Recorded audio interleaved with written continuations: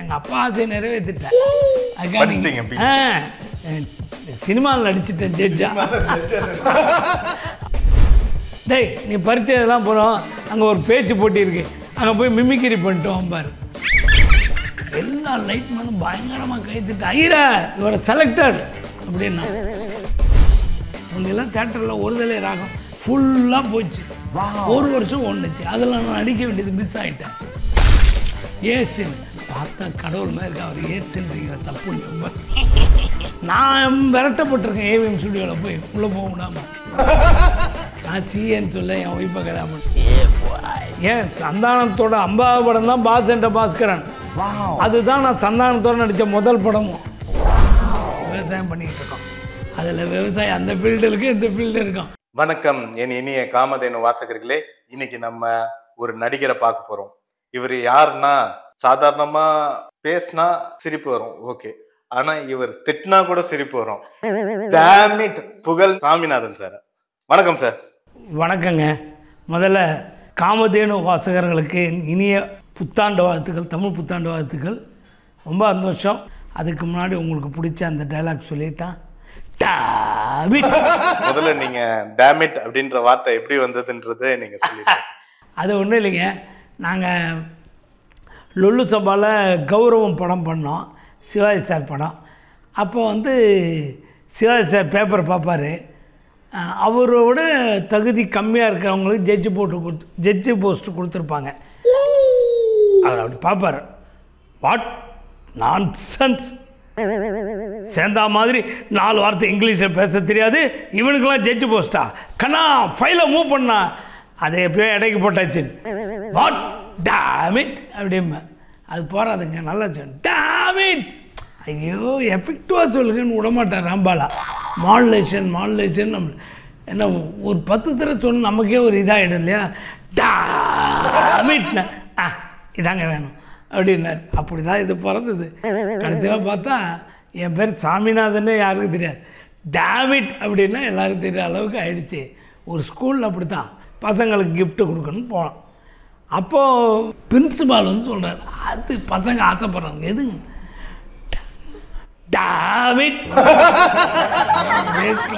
Sir உங்க குடும்பத்தை பத்தி நீங்க கொஞ்சம் சொல்லுங்க சார் இந்த மக்களுக்கு. எங்கள் அப்பா என்னை அட்வொகேட்டுக்கு படிக்க வச்சு நீ ஜட்ஜாக வரணும்பாங்க. ஜட்ஜாக நான் வர முடியாதுப்பா அட்வொகேட் ஆகி ஜெயிச்சா தான் வர முடியும். வேடிக்கை சொன்னேன். எங்கள் அப்பா ஆசையை நிறைவேற்றிட்டேன் ஆ சினிமாவில் நடிச்சிட்டேன் ஜட்ஜா. அது அது மாதிரி வாய்ப்புகள் எல்லாருக்கும் எல்லாம் முடியாது இல்லையா? இப்போ என் பையன் தன்னை என்னவா படிக்க போகிறான் அவன் டுவெல்த்து இப்போ தான் முடிச்சிருக்கிறான் ஆனந்துன்னு பேர். டுவெல்த்து முடித்தா என்னவா பண்ண போகிறான் நான் சிஏ பண்ண போகிறேன் ஏன் நான் சொன்ன மாதிரி என்ன? என்னென்ன? நான் சிஏன்னு சொல்ல என் ஒய்ஃபை கல்யாணம் பண்ணேன். என்ன சினிமா ஆக்டிங் அவங்க உண்மையிலேயே சிஏ சான்றாக கொண்டு வச்சுக்கிட்டாங்க. அது இல்லைப்பா நான் நிஜமாக படிக்க போகிறேன் உன்லாம் இல்லை நான் வரமாட்டேன். ஏன்லாம் இல்லை நீ வராத? என் பொண்ணு ஐஸ்வர்யான்னு பேர். எம்சிஏ முடிச்சுட்டு இப்போ வீட்டிலேயே ஒரு கம்பெனிக்கு ஹெச்ஆராக ஒர்க் பண்ணிகிட்ருக்கா என் ஒய்ஃப் ஹவுஸ் ஒய்ஃப் கொஞ்ச நாள் ஸ்கூல் டீச்சராக இருந்தாங்க. அவங்க பெங்களூரு. ஷீலான்னு பேர். பெங்களூர் அவங்க.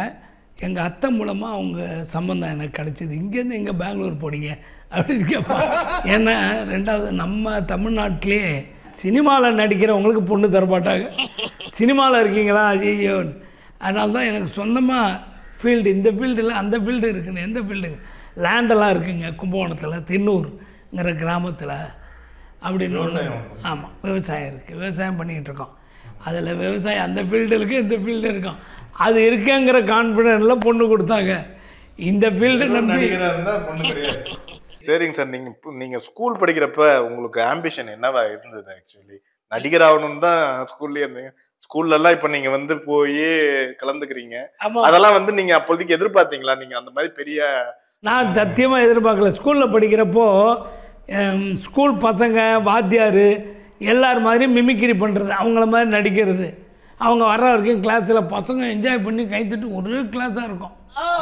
வந்தால் வாத்தியார் வந்தோன்னா அமைதியாகிடுவாங்க அப்புறம் ஒருத்தர் சார் சிரிப்பான் என்ன உங்கள மாதிரியே பண்ணார் சாருமா ஒருத்த மாட்டி விட்ருவான் அந்த மாதிரியே வந்து என்ன டப்பு டப்புன்னு அடிப்பார். டேய் என்ன மாதிரியா பண்ணாரு? இப்போ இந்த மாதிரி என்னால் பண்ண முடியாது சார்.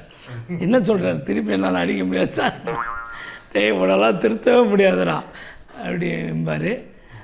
நான் எக்ஸாம் எழுதிக்கிட்டு இருக்கப்போ எங்கள் ஸ்கூல் ஹெட்மாஸ்டர் நைன்த் எக்ஸாம் இருக்கும் டேய் நீ பரீட்சை இதெல்லாம் போகிறோம் அங்கே ஒரு பேச்சு போட்டி இருக்கு. அங்கே போய் மிமிக்கிரி பண்ணிட்டு வாம்பார் அப்போ பாலையா மராதா அண்ணாதுராம கலைஞர் மாதிரிலாம் சும்மா பே- ஏதோ பேசுவோம் அந்த குரலில். அதனால் அப்போவே என்ன இது பண்ணுவாங்க படிக்கிறப்போவே எனக்கு இன்ட்ரெஸ்ட்டு பட் சினிமா ஆசை எப்படி வந்ததுன்னா யானும் எங்கள் சித்தப்பா பையனும் நிறையா படங்கள் பார்த்துட்டு அந்த ப பாலச்சந்தர் பாரதி ராஜா கே எஸ் கோபாலச்சன் அப்போ இருக்கிற பெரிய லீடிங் டைரக்டரோட படங்களை தொகுத்து அவங்களுக்கெல்லாம் சான்ஸ் கிட்ட லெட்டர் எழுதுவோம். அதெல்லாம் தூக்கி போட்டுருவாங்கன்னு எங்களுக்கு தெரியாது. ஆர்வமாக இருந்தோம். அப்புறம் நாங்கள் ரெண்டு பேருமே அதாவது இதெல்லாம் நீங்க கும்பகோணத்துல படிக்கிறப்ப படிக்கிறப்பவே என்ன பிரச்சனைனா சொன்னால் நம்ப மாட்டாங்க. அஞ்சு வயசுலேருந்து சினிமா பார்க்க ஆரம்பிச்சிட்டோம். வீட்டுக்கு தெரியாமல் திட்டுத்தனமாக செம்மாட்டி விடும் சரியான குட்டு விடும் சினிமா போயிட்டு நைட்டு பத்து மணிக்கு வந்து பெல் அடித்தோம்னா எங்கள் அத்தை தான் வந்து திறக்கணும். எங்கள் வீடு பெரிய வீடு அரண்மனை மாதிரி இருக்கும். அங்கேருந்து ஒரு ஆஃப் கிலோமீட்டர் நடந்து வந்தால் தான் கதவையே திறக்க முடியும். மாச கதவு. கதவை திறந்த உடனே ஒரு நக்குன்னு ஒரு கு- நச்சுன்னு குட்டு வைப்பாங்க. இந்த விஷயம் தெரிஞ்சு நான் பெல் அடிப்பேன் எங்கள் அண்ணனை கதவை கிட்ட நிற்க சொல்லுவேன். அவனுக்கு குட்டு ஏடா சினிமாவா சோறு போட போகுது? எங்கடா அலையிறீங்கண்ணா ஆனால் சொல்ல இல்லை சொல்லாட்டினாலும் இப்போ சினிமா தான் எனக்கு சோறு போட்டுக்கிட்டு இருக்கு. சார் உங்களோட கல்லூரி படிப்பை பத்தி நீங்க கொஞ்சம் சொல்லுங்க சார். வேப்பத்தூர் குட்டுன்னு எங்கள் தாத்தா எங்கள் சித்தியோட ஃபாதர் அவர் ஜெமினி கதை இலாக்கால பெரிய ஆள். அவர் கும்பகோணத்து இன்னொரு கிராமத்துக்கு வந்திருந்தார். நாங்கள் ஒரு கல்யாணத்தில் தஞ்சையில் ஒரு குடும்பம்னு ஒரு ட்ராமா போட்டோம். பார்த்துட்டு நல்லா பண்ணுறீங்களடா சரி நீங்கள் தான் சினிமாவில் இருக்கீங்களே ஜெமினியில். எங்களுக்கு ஏதாவது சான்ஸ் வாங்கி கொடுங்கன்னா அப்போ இருக்கிற பெரிய சினிமா ஃபீல்டில் இருக்கிறவங்கலாம் கௌரவம் பார்ப்பாங்க. டைரக்டர் அக்கௌண்ட் எல்லாம் பண்ண மாட்டாங்க. அதனால் அடையாறில் ஃபிலிம் இன்ஸ்டியூட் ஒன்று இருக்குது அங்கே வந்து சேருங்க. அதுலேருந்து உங்களை இது பண்ணால் நான் பார்க்குறேன். அப்படின்னு சொல்லி என்னையும் எங்கள் சித்தவா பையனையும் அடையார் ஃபிலிம் இன்ஸ்டியூட்டில் அப்ளிகேஷன் போட சொல்லி அங்கே வந்து செலெக்ஷன் பண்ண போகிறப்போ இவர் எங்கள் சித்தவா போய் எம்ஜிஆர் மாதிரியே போய் நடிச்சிருக்காரு. நான் அப்போது கிராமத்தில் வந்ததுனால ஒரு மஞ்சள் போய் லூஸாக ஒரு பேண்ட்டு ஒரு லூஸ் ஷர்ட்டு போட்டு ஒரு மஞ்சள் தேட்டு மஞ்சள் பைய வச்சுட்டு விடு. அவங்க எல்லாம் எவ்வளோ பேரை செலக்ட் பண்ண முடியும்? ஒரு நாளைக்கு அறநூறு பேருங்கிறது முடிகிற விஷயம். வா போ வா போ ஏன்னா நீங்கள் இது சூட்டா உங்களால் முடியுமா? இன்ட்ரெஸ்ட் இருக்கான்னு அவங்க அங்கேருந்து கணிச்சிடுறாங்க. ஆனால் வா போ வா போன்னு அனுப்பிச்சிடுறாங்களா? நானும் கிட்ட பையன் எடுத்து போனேன். இல்லை எங்கே போகிறேன் எல்லாரையும் எங்கேயும் அனுப்புகிறீங்களே அங்கே போகிறேன் அவங்களாம் தேவையில்லாதவங்க நீ தேவை நில்லு அப்படின்னாங்க. அங்கே என்ன செய்யக்கூடாத விஷயம்னா யாரையும் மிமிக்ரி பண்ணக்கூடாது இமிட்டேட் பண்ணக்கூடாது எந்த சினிமாலேருந்து சீன் எடுத்து பண்ணக்கூடாது. நம்மளா ஏதாவது நடித்து காட்டணும். அது எனக்கு இந்த விஷயமே தெரியாது. அப்போ எனக்கு நல்லா மிமிக்ரி பண்ண தெரியும் தெரியும் எல்லாம் பண்ணுவேன். பட் ஆனால் என்ன அறியாமல் ஆஃப் ஆகிட்டேன் எதுவுமே பண்ணல.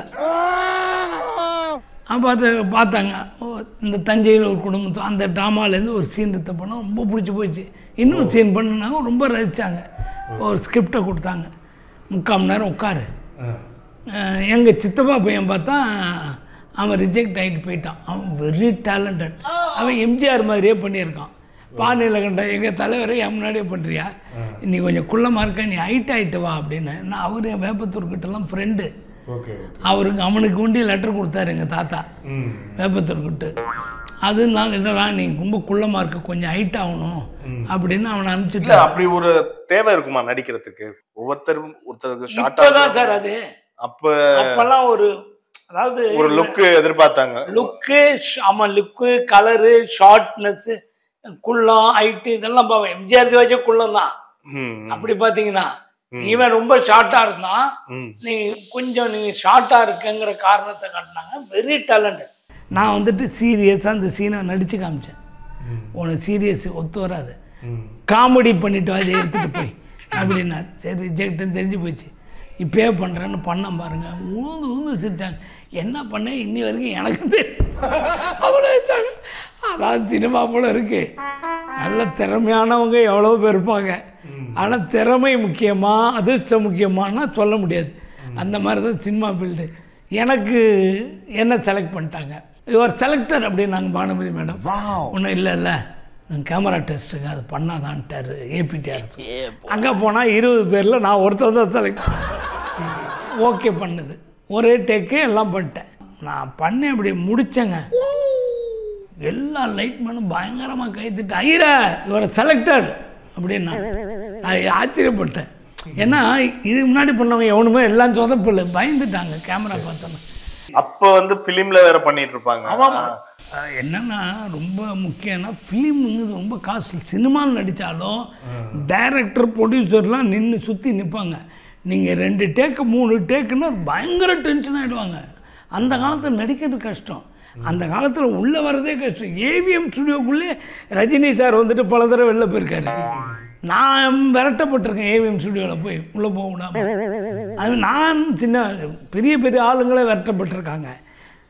நிறைய போக முடியாத ஆளுங்கள்லாம். பாக்யராஜே விரட்டிட்டாங்கன்னா அவர் அவங்களுக்கு படம் பண்ணுறப்ப தான் பயங்கரமாக செலவு வச்சார். அந்த மாதிரி டஃப்பாக இருக்கும் பிரசாத். இவங்க இப்போ போயிடவே முடியாது. இப்போ யார் வேணால் போகலாம் எப்போ இந்த ஃபிலிம் போச்சோ அப்போ பயம் போச்சு. டிஜிட்டல் ஆன உடனே. எல்லாருமே நடிகர் ஆயிட்டாங்க. எல்லாரும் நடிக்கிறாங்க. தப்பு இல்லை. எல்லாரும் நடிக்கலாம்.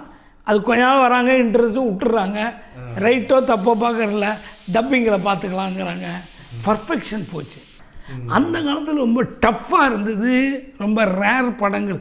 ஐம்பது படம் அறுபது படம் ஆனால் பெரிய விஷயம் ஒரு வருஷத்துக்கு ரிலீஸ் இப்போ அறநூறு படம் அதில் பாதி வருது பாதி வரமாட்டேங்குது பாதி ஓடுது பாதி ஓட மாட்டேங்குது. ரெண்டு மூணு நாளாக நல்ல படம்னு டிசைட் பண்ணவே முடியாது. நல்ல படம் கூட எடுத்துடுறாங்க இந்த அயோத்தியெல்லாம் நல்ல படம். எதுக்கா மக்கள்கிட்ட எதுக்காக சொல்ல வரேன் நம்ம நல்ல படம் கெட்ட படம் எதுன்னு யாராலையும் கண்டுபிடிக்க முடியாது. அதுக்கு படம் தேட்டரில் ஓடணும். முந்தையெல்லாம் தேட்டரில் ஒரு தலை ராகம். நாலு நாள் அஞ்சு நாள் ஓடிச்சு படம் தெரியலன்னு எடுக்கிற மாதிரி நிலைமைக்கு வந்துட்டாங்க. அந்த ஒரு வாரம் கழித்து ஓட ஆரம்பிச்சு பாருங்கள் Alankar theatre book Roxy theatre Liberty தேட்டர்னு போட்டாங்க. ஒரு ஷோ கொடுத்த தேட்டர்லாம் நாலு ஷோ ஃபுல்லாக போச்சு. ஒரு வருஷம் ஒன்றுச்சு அதில் நான் நடிக்க வேண்டியது மிஸ் ஆகிட்டேன் அதுக்காக அதை ஏன் நீங்கள் சொல்கிறீங்கன்னு கேட்டிங்கன்னா நான் இன்ஸ்டியூட் படிக்கிறப்ப ராபர்ட் சார் இப்ராஹிம் சார்கிட்ட போய் ராபர்ட் சார்னா கேமராமேன் ராபர்ட் ராபர்ட் ராஜேர் அவங்க தான் எல்லாமே டெக்னீஷியன் அவங்க தான் டி ராஜேந்தர் உள்ளே இழுத்து விட்டாங்க. எல்லாமே அவங்க தான் ப்ரொடியூசரை பிடிச்சதும் அவங்க தான் எடிட்டர் அண்ணாதுரை அவங்க ஒரு குரூப்பு அவங்களுக்கு இப்ராஹிம் வந்து இது பண்ணிட்டாங்க. டி ராஜேந்தர் வந்து அப்போ வந்து திரைக்கதை பாடல் தான் அவர். இணை இசையாக இருக்கும். இசை ஏ ஏ ராஜன் போட்டிருக்கோம். பட் எல்லாமே டி ராஜேந்தர் தான் சப்ஜெக்ட் எல்லாமே. பட் இருந்தாலும் டைரக்ஷன்னா இவங்க தான் ராபர்ட் ராஜர் தான் அங்கே எல்லாமே. ஆனால் கடைசியில் எங்கள் பேரை போடாதீங்க நான் நிறையா போ கேமராலாம் ஒர்க் பண்ணுறோம் நீங்கள் உங்கள் பேரே போட்டுங்கன்னு இப்ராஹிம் ராத் அவர் பேரையே போட்டுக்கிட்டாரு. அவர்கிட்ட என்னை கொண்டு போய் காட்டுறப்போ யோசிச்சார் சரி இந்த பையன் பண்ணட்டும் ஓகேன்ட்டார். படிக்கிறப்போ எனக்கு ரெண்டு மூணு ஹீரோ சான்ஸ் வந்தது. ராமாயி வயசுக்கு வந்துட்டான்னு ஒரு படம். அதில் ஒரு இது ஹீரோ கேரக்டர் டைரக்டர் பரதன் வந்தார். ஒரு மலையாள படத்தில் ஹீரோக்கு நீ தான் சூஸ் அது ஒரு இன்னசென்ட் கேரக்டர் நீ தான் பண்ணணுன்னாரு சார் எனக்கு மலையாளம் தெரியாதுன்னு தேவையில்லைன்ட்டார். நடிக்கிறதுக்கு லாங்குவேஜ் தேவையில்லை. எக்ஸ்பிரஷனும் ஃபேஸ் ஆக்ஷனும் இதுவும் போனால் போரும்ட்டார். இப்ப நிறைய பேர் காமெடி நடிகர் எல்லாமே ஹீரோ ஆகுறாங்களே. நீங்க இப்ப ஐயோ சாமி. ஹீரோ ஆறது அதான் அந்த காலத்துலேயே எனக்கு ஹீரோ சான்ஸ் வந்து வேணான்னு சொன்ன காரணம் சினிமாவில் நான் ரொம்ப வருஷம் இருக்கணும். ஒரு படம் வந்து ரெண்டு படம் ஓடலைன்னு வச்சுங்க. ஓ கடவுள் புண்ணியத்தை ஓடிடுச்சுன்னா வேற கதை. ஓடலைன்னா நம்ம ஒதுக்கப்பட்டுருவோம். ஹீரோங்கிற முறையில் நம்ம யார்கிட்ட போனாலும் கிண்டல் பண்ணுவாங்க சான்ஸ் தர மாட்டாங்க. இதெல்லாம் பிரச்சனை ஆகிடும் நான் படிப்படியாக தான் இப்போ லிஃப்ட்டில் போக ஆசைப்படல. இப்போ இவன் யோகி பாபு கூட என்ன சொல்கிறான் நான் ஹீரோவை பண்ணலங்க அந்த சப்ஜெக்டை என்ன ஹீரோவை பண்ண வைக்கிறாங்கன்றான். சரி நிறைய பேர் வந்து சந்தானா சார் பண்ணது வந்து ஒரு தப்பான முடிவு அப்படின்ற மாதிரி எல்லாம் சொல்றாங்க. இப்ப இன்னும் காமெடியனாவே இருந்தா இன்னும் நல்லாவே growth இருக்கும். நிறைய சம்பாதிக்க முடியும் என்கிட்ட நிறைய பேர் உங்களுக்கு சந்தானம் க்ளோஸ் தானே சொல்லுங்கள் அவர் காமெடியும் பண்ண சொல்லுங்கள் ஹீரோவாக பண்ணுற ஏங்க அவர் ஹீரோவாக நடித்து அஞ்சாறு படம் ஓடிடுச்சு நல்லா. நீங்கள் எந்த படமும் ஓடலைன்னா அவரே ஃபீல் பண்ணுவார். படங்கள் ஓடல அப்படின்ட்டு. இல்ல இப்ப வரத்துகள் ரொம்ப குறைவா இருக்குல்ல? இப்போ ஒரு நேம் ஆரம்ப கால படங்களில் தில்லுக்கு துட்டு அது இதெல்லாம் பார்த்தீங்கன்னா செம்ம இனிமேல் இப்படி தான் ஃபுல் காமெடி கலந்த சப்ஜெக்ட் எடுத்துக்கிட்டாரு. ஏ ஒன்று இதெல்லாம். ஆனால் இப்போ இருக்கிற சப்ஜெக்ட்லாம் அவர் வித்தியாசமான கேரக்டர் பண்ணுறாரு இப்போ சபாபதியில் சூப்பராக பண்ணியிருக்காரு திக்குவாயா நல்லா பண்ணியிருக்காரு. பட் என்ன பிரயோஜனம்? மக்கள் வந்து அதை விரும்பலை. மக்கள் வந்து அவரே தான் மீட்டிங்லயே பிரஸ் மீட்லயே சொன்னாரு ஆக்சுவலி நான் நடிச்சேன்னா காமெடியா தான் இருக்கணும்னு மக்கள் எதிர்பார்க்கறாங்க. அதான் பட்டு நம்ம ஜெயிச்சவங்களுக்கு அறிவுரை சொல்ல முடியாது. என்ன எனக்கு கீழே இருந்தார் சந்தானம் ஒரு சீன் ரெண்டு சீன் நடிச்சு அப்புறம் லொலு சம்பாவில் பெரிய ஆளாக வந்தார். அப்புறம் சினிமாவில் மிகப்பெரிய ஆளாக எப்படி சினிமாவில் வருதுன்னு என்னை கேட்டார். சினிமா டப்புப்பா நீ படிச்சிருக்கிற. நீ படித்த படிப்பு வேலையை பாரு உன்னை நம்பி மக் அம்மா அப்பா இருக்காங்க. ஒரு ரெண்டு வருஷம் ட்ரை பண்ணு. அந்த சினிமாங்கிறது சொல்ல முடியாது ஓவர் நைட்டு தான். அப்படின்னு சொல்லுவேன் நான். கஷ்டமாண்ணே கஷ்டமாண்ணே அப்படி பாவம் உனக்கு டைம் இருந்தாலும் அவனுக்கு நல்ல டைம் சிம்பு அவரை கூப்பிட்டு இன்ட்ரடியூஸ் பண்ணி எல்லாம் ஹெல்ப் பண்ணார். சிம்புன்னு ஒரு பாலம் அவர் கிடைச்சார். அந்த அதை பிக்கப் பண்ணிக்கிட்டார். சந்தானத்தில் பிடிச்ச விஷயம் எந்த ஒரு கேட்சிங் லொல்லுத்தப்பால சும்மா பாலாஜி கூட வந்தார். ராம்பால அப்படியே கேட்ச் பிடிச்சி போய் அவன் உட்காந்து டைலாக் எழுத ஆரம்பிச்சு எல்லாத்துலேயுமே எக்ஸ்பர்ட் ஆகிட்டாப்புல அதுமாதிரி ஒரு நூல் கிடச்சா அதை ரோடு போட்டால் இது கோடு போட்டால் ரோடு போடுற கேரக்டர் சந்தானம். அதேமாரி யோகி பாபு. எங்கள் வீட்டுக்கு டெய்லி வருவார் லொல்லு சம்பால் நடிக்கிறப்போ சின்ன சின்ன கேரக்டர் நான் தான் கூப்பிட்டு டைலாக் ராம்பாலாட்ட சொல்லி கொடுக்க சொல்லுவேன் இந்த மூஞ்செல்லாம் எவன் பார்ப்பான்னு ஏங்க இந்த மூஞ்சிக்கா பின்னாடி நீங்களே போய் காலிச்சிட்டுக்கா நிற்பீங்க அதுமாதிரி நின்னார் ஜெய்ப்பூரில் அதான் யார் மூஞ்சி யாரும் நீங்கள் சொல்கிற மாதிரி யாரும் எதுவும் கேவலம் கிடையாது. நம்ம தப்பு சொல்ல முடியாது. யோகி பாபுலாம் நடிக்கிறாரு நீங்கள் யோகி பாபுலாம்னா ஜெயிச்சிட்டார்ல. ஜெயிச்சவங்களை பற்றி நம்ம எதுவும் சொல்ல முடியாது அறிவுரையும் சொல்ல முடியாது. மக்கள் உங்களை ரெக்கக்னைஸ் பண்றாங்களா நீங்க எங்கேயாவது வெளில ஐயா அதை ஏன் கேட்குறீங்க சார் உங்கள் காமெடி சார் நீங்கள் வந்தால் ஒரு சீன் வந்தாலும் கலக்குறீங்க சார். ஏம்பா நீங்கள் இப்படியே சொல்லி எல்லாரும் ஒரு சீன் தான் ஏன் தராங்க? அப்படின்னு சொல்லு. சார் உங்கள் போர்ஷன் நீங்கள் வந்தால் கலக்கிறீங்க சார். உங்கள் போர்ஷன் சார் இன்றைக்கி விழுந்து வந்து சரி ஒரு கொ- பையனுக்கு பேச முடியல. ஒரு காஃபி ஷாப்பில் அழிச்சிட்டு வந்திருக்காரு. அவர் சொல்றார் சார் என் பையன் பேச தான் முடியாது. உங்கள் காம்படிஷன் வந்து அவ்வளோ குஷியாக கத்துவான். அதுவும் அதெல்லாம் பண்ணுவான் சார். சார் உங்க நீங்கள் வந்தாலே எங்கள் ஃபேமிலி ஃபுல்லாக ரசிக்கும் சார். மயிலாப்பூரில் ஏதோ ஒரு ஃப்ரெண்டை பார்த்துட்டு வந்தோம் ஒரு ஆட்டோக்கார் எங்கே போனுங்க? கேகே நகர் ஏறுங்க ஆட்டோலன்னார். இல்லைங்க நான் பஸ் ஏறி போய் ஏறுங்க ஆட்டோவில் பஸ்ஸில் போகிறாராம் மிரட்டினார். ஆட்டோவில் ஏறினேன். எவ்வளோ பண்ணு அதெல்லாம் வேணாம். இந்த ரோட்டில் போனேன். ஒரு பச்சையாக இருந்தது. எடுத்து பார்த்தா ஒரே பீஸ் பீஸ் நக்கி பார்த்தா ஒரே புளிப்பு. அப்புறம் தான் தெரிஞ்சு அது எருமாட்டு சாடுன்னு நல்ல வேலை மிதிக்கல. அதை ஒரே ஒரு தான் சொல்லுங்கள் சார். அப்படின்னு சொல்லி அவ்வளோ அன்பாக இருந்தாங்க. அதான் எல்லாருமே ரியலைஸ் பண்ணிக்கிறாங்க. ஏன்னா கொஞ்சம் கேஷுவலாகவே இருப்பேன். நடிகருங்கிற பந்தா எனக்கு ஆரம்பத்துலேருந்து கிடையாது. அது எல்லாம் ஏங்க இப்படி இருக்கீங்க? அவங்க பார்த்தா ஒரு நடிகர் மாதிரியே இல்லை. நீ மாட்டு சிம்பிளாக போகிறீங்க சிம்பிளாக வரீங்க. ஏங்க நடிகர் தானே கும்பா முளைச்சிருச்சு? அவனும் மனுஷன் தானே. ஒரு ஒரு எலெக்ஷனில் ஜெயிக்கிறாங்க ஒரு எலெக்ஷன் தோக்குறாங்க. அவங்களே மறு எலெக்ஷன் ஜெயிக்கிறாங்க. ஆனால் சினிமாவில் பிடிச்சிருந்தா தான் நினச்சி நிற்க முடியும். இன்றைக்கி நாற்பது வருஷமாக சினிமாலேயே இருக்கேன்னா மக்களுக்கு என்ன பிடிச்சிருக்குன்னு நம்புகிறேன் இந்த பொதுமக்கள் அணியில ஒரு பெரிய விஐபி உங்களை யாராவது ஏதாவது ஒரு காமெடிக்காக பாராட்டியிருக்காங்களா? பெரிய பெரிய காங்கிரஸ் லீடர் எல்லாருமே ஃபேனுங்க பெரிய பெரிய leader DMK leader ADMK leader அரசியல்வாதிகளுக்கே காமெடியன்கள் சினிமாக்காரங்களை பிடிக்கும். அதை விட காமெடியனும் ரொம்ப பிடிக்கும். எல்லாருமே பாராட்டியிருக்காங்க. எனக்கு ரொம்ப பசி சத்யாக்கா சினிமாவில் நிறையா சாதனை பண்ணவங்க தான். அவங்க லொல்லு சபா பார்த்துட்டு சினிமாவில் பண்ண முடியாது. எல்லா கேரக்டரும் பண்ணிட்டீங்கல்ல. அப்படின்னு பாரா அதுதான் பெரிய பாராட்டு. ஒரு நடிகர் ஒரு கலைஞர் கலைஞரை பாராட்டுறப்போ விக்ரம் சார் வந்து என் படத்தை எப்போ கலாய்க்க போகிறீங்கன்னு கேட்பாரு பிதாமகனை எப்போ பண்ண போகிறீங்கன்னு கேட்பாரு விஷால் வந்து அந்த படம் சூப்பராக பண்ணீங்க என் படத்தை. இன்னொரு படத்தை பண்ணுங்கம்பாரு. கார்த்திக் சார் நான் பயங்கரமாக ரசிப்பேன் பாரு. லொல்லு சபாவை முதல்ல எதிர்த்தவங்க எல்லாம் பின்னாடி பயங்கர ரசிகர் ஆயிட்டாங்க ஒரு லொல்லு சபா இப்ப எது எடுக்கிறதுக்கு என்ன தயக்கம் இருக்குது?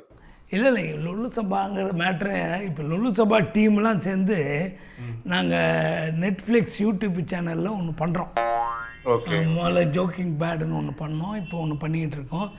அவங்க தான் எங்கள் எல்லாரையும் ஒன்றா இணைச்சி சந்தானம் இல்லாமல் யோகி பாபு இல்லாமல் நாங்கள் எல்லாருமே இருக்கோம் அதில்.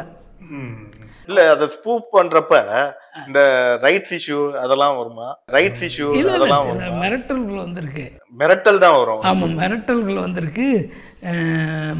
விஜயகாந்த் சார் கூப்பிட்டு ஒரு எங்கள் டைரக்டரை இது பண்ணியிருக்காரு வான் பண்ணியிருக்காரு. அடுத்த நாளே இவர் வந்து இல்லை சார் இது வந்து ஃபாரினில் ஃபேமஸ் அது ஃபாரினில் தானே இங்கே என்ன இல்லைங்க கேரளாலலாம் ரொம்ப சிம்பிள் எல்லாரையும் பண்ணுவாங்க அரசியல்வாதியெல்லாம் கூட பண்ணுவாங்க. நான் இதெல்லாம் தேவையில்லை. இங்கே ஏன் பண்ணுறீங்க கஷ்டப்பட்டு படம் பண்ணுறோம் அது ஈஸியாக கிண்டல் பண்ணிட்டு போகிறீங்க அப்படின்னு சொல்லி மிரட்டினார். சரி சரி இனிமேல் பண்ணலன்னு போயிட்டு அடுத்து நரசிம்மா போஸ்ட் பெய்ட் சிம்மா ப்ரீபெய்ட் சிம்மான்னு சொல்லி அதை எடுத்தார். திடீர்னு ஒரு நடிகை ஃபோன் பண்ணி திட்ட ஆரம்பிச்சிட்டாங்க. ரேகா மேடம் கடலூர் கவிதைக்கு ஏங்க இவ்வளோ கஷ்டப்பட்டு பண்ணியிருக்கேன் நீங்கள் எப்போ எத்தனை நாள் பண்ணீங்க இதை? நாங்கள் ஒன்றரை நாள் ரெண்டு நாளில் பண்ணோம். வருஷ கணக்கா நாங்க எவ்வளோ நாள் பண்ணிக்கிட்டு இருந்தோம்? எவ்வளோ போராடி இருக்கோம்? ரொம்ப சர்வசாம கிண்டல் பண்ணிட்டீங்க. கவுண்டர் மேடம் கோச்சிக்காது மேடம் இப்போ என்ன இப்போ உங்களுக்கு? நான் பயங்கரமாக கத்திட்டு நான் சும்மா சொன்னேன் சாமி. சூப்பராக இருந்தது. அவ்வளோ என்ஜாய் பண்ணோம். என் பழசெல்லாம் ஞாபகப்படுத்துனீங்க. ரொம்ப நல்லா இருந்தது. அப்படின்னு சொல்லிட்டு அதில் ஒரு சீன் கூட வரும். அது சொன்னாங்க இவர் யார் தெரியுதா? நான் வந்து அதில் கிறிஸ்டின் சத்யராஜ் கேரக்டர் இவர் யார் தெரியுமான்னு? ஏசுன்னு பார்த்தா கடவுள் மாதிரி இருக்கா? அவர் ஏசுன்றீங்க நீ எல்லாம் கிறிஸ்டின் சொன்ன உனக்கு கொண்டு மாதிரி நிறையா நாங்கள் காமெடிக்காக நிறையா பண்ணியிருக்கோம். ஆனால் இவ்வளோ ஃபேனு கிட்டத்தட்ட நாங்கள் நிறுத்தியே பதினெட்டு வருஷம் ஆகுது. பயங்கர ஃபேன் இருக்காங்க. எங்கே போனாலும் ஃபேன் இருக்காங்க. இப்பவும் இருக்காங்க. எனக்கு ஆச்சரியமாக இருக்காது. இப்போ ப இப்போ படிக்கிற சின்ன பசங்களுக்கெல்லாம் அவங்க அப்பா அம்மா சொல்லி அவங்க யூடியூப்பில் பார்க்குறாங்க நீங்க ஏதாவது பெருசா ஹிட் ஆகும்னு நினைச்ச காமெடி ஹிட் ஆகாம போனது ஏதாவது உண்டா சார் பெருமாள்னு ஒரு படம். அந்த படத்தில் நமிதா என்ன பண்ணுவாங்க? கார் பார்ட்ஸ்லாம் திருடி விற்பாங்க அதை சுந்தரிசி தான் ஹீரோ அவர் கண்டுபிடிப்பார்.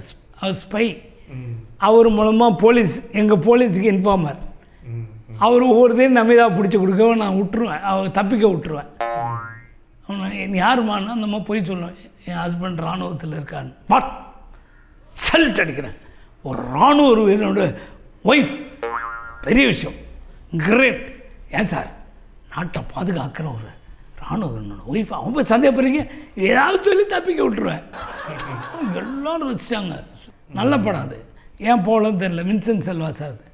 படம் பார்த்துட்டு அந்த சீனை பற்றிலாம் சொல்லுவேன். சார் பெருமாள் பார்த்தா சீன் எப்படி இருந்தது உங்கள் பின்னாடிலாம் சட்டை ஈரமாக இருந்தது?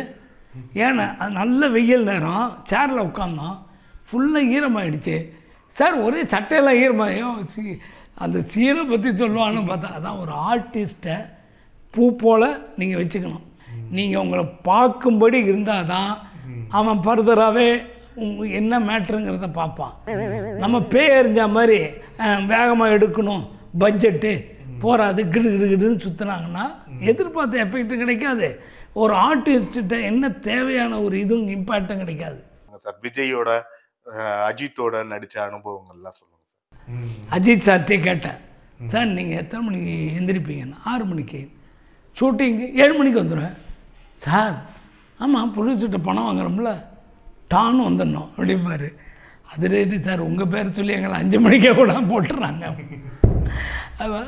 என்ஜாய் பண்ணார் அவர் ஜாலியாக பேசுவார் எல்லார்ட்டையும் ஃப்ரீயாக இருப்பார். விஜய் சார் அப்படி தான் பார்க்க குவைட்டாக இருப்பார். யார்கிட்ட பிடிச்சா அவங்க தோளில் திடீர்னு கை போட்டு பேசுவார். அந்த மாதிரி. அவர் கொஞ்சம் ரிசர்வ்டாக இருப்பார். திடீர்னு என்ஜாயபிளாக எல்லாரும் கூட இருந்து பேசுவார். ஒவ்வொரு ஆர்டிஸ்டும் ஒவ்வொரு மாதிரி. லொல்லு சபாக்கு அப்புறமேட்டு லொல்லு சபாக்கு முன்னாடி நடிச்சது ஏதாவது ஹிட் ஆயிருக்குங்களா சின்ன பொம்மையில் விஷயம் மனசுக்குள் மத்தாப்பு. இதெல்லாம் லோக் சூப்பராக நடிச்சது தான் ஒரு முந்நூறு நானூறு படம் நடிச்சிட்டேன் அதெல்லாம் சூப்பர் ஹிட் ஒரு வருஷம் சினிமா ஸ்ட்ரைக் வந்தப்போ தான் அப்படியே டிவிக்கு வந்தோம். ஓகே அப்போ தான் இந்த லொலு சம்பாலம் ஒரு பத்து பன்னெண்டு வருஷம் அங்கேயே இருந்துட்டோம்.